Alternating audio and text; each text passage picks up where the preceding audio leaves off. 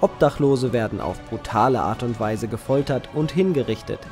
Seltsame Satanisten treiben ihr Unwesen. Und der Spieler muss dem Titelhelden John Yesterday dabei helfen, herauszufinden, wer hinter den grausamen Taten steckt.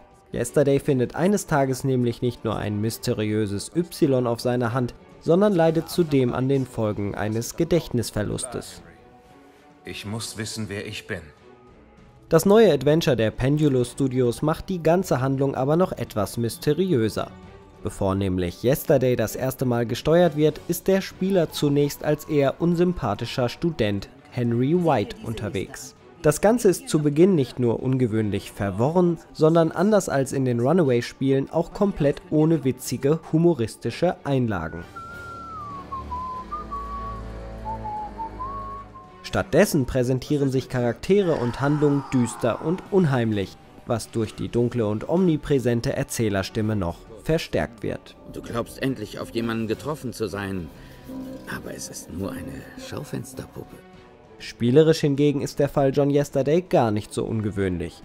Wie in anderen Adventures auch werden Gegenstände eingesammelt und kombiniert und zahlreiche Multiple-Choice-Gespräche geführt. Hast du Angst?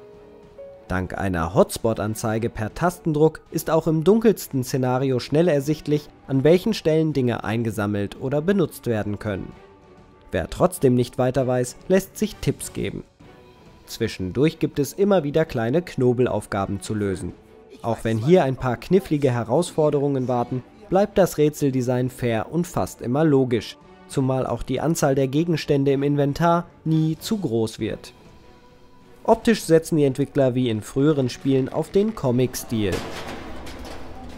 Der zeigt zwar nicht sehr viele Details, ist aber mit seiner Ästhetik und den Einlagen wie Bild-in-Bild-Sequenzen sehr stimmig umgesetzt. Mein Name ist... Du bist spät dran. Die deutschen Synchronstimmen überzeugen ebenfalls.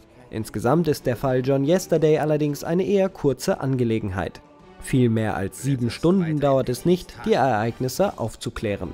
Wo findet der Orden des Fleisches wieder zusammen? Ein sehr verworrener Einstieg und nicht unbedingt sympathische Charaktere. Vor allem Runaway-Fans werden in der ersten Spielstunde doch etwas enttäuscht sein. Mit der Zeit gewinnt das Spiel aber zunehmend an Qualität. Die Lücken in der Handlung klären sich auf, das Rätseldesign ist stimmig, die Atmosphäre schön düster. Die großartige Qualität früherer Titel erreichen die Pendulo Studios diesmal nicht, ein insgesamt gutes, wenn auch recht kurzes Adventure ist ihnen aber auch dieses Mal wieder gelungen.